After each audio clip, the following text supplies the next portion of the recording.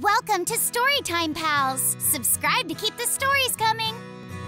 Hi, my friends. It's your pal Amber here, and today I'm going to read for you a very important book called Never Talk to Strangers.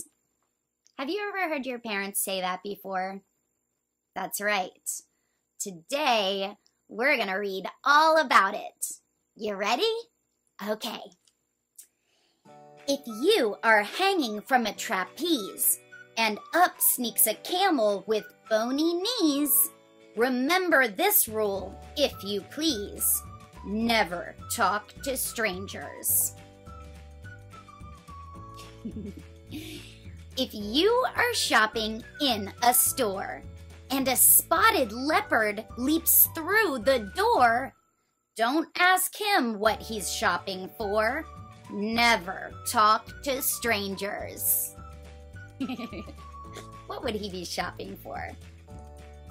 If the doorbell rings and standing there is a grouchy, grumbling grizzly bear, don't open the door.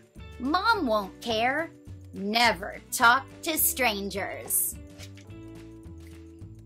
If you are waiting for a bus and behind you stands a rhinoceros. Though he may shove and make a fuss, never talk to strangers.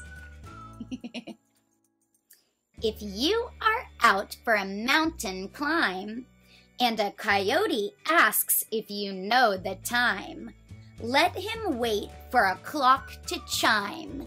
Never talk to strangers. Are you going to say it with me next time? okay. If you are mailing a letter to Aunt Lucille and you see a car with a whale at the wheel, stay away from him and his automobile. Never talk to strangers. okay, let's try again.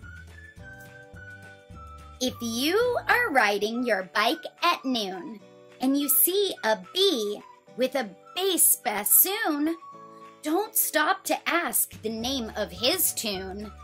Never talk to strangers. if you are swimming in a pool and a crocodile begins to drool, paddle away and repeat this rule. Never talk to strangers. That's good advice. But if your father introduces you to a roly poly kangaroo, say politely, How do you do? Because your family knows her. And that's okay. If they introduce you, if someone you trust introduce you, you can say hi, right? If a pal of yours you've always known brings around a prancing roan, welcome him in a friendly tone because your old pal knows him. if while eating toast and honey, you catch a glimpse of the Easter Bunny, tell him a joke. He'll think it's funny. And Everybody knows him. now, I'll tell you why you've never heard this jolly giraffe say a single word. It's because she learned from a little bird never talk to strangers. the end. Thanks for listening. And remember, repeat it with me never talk to strangers. Bye.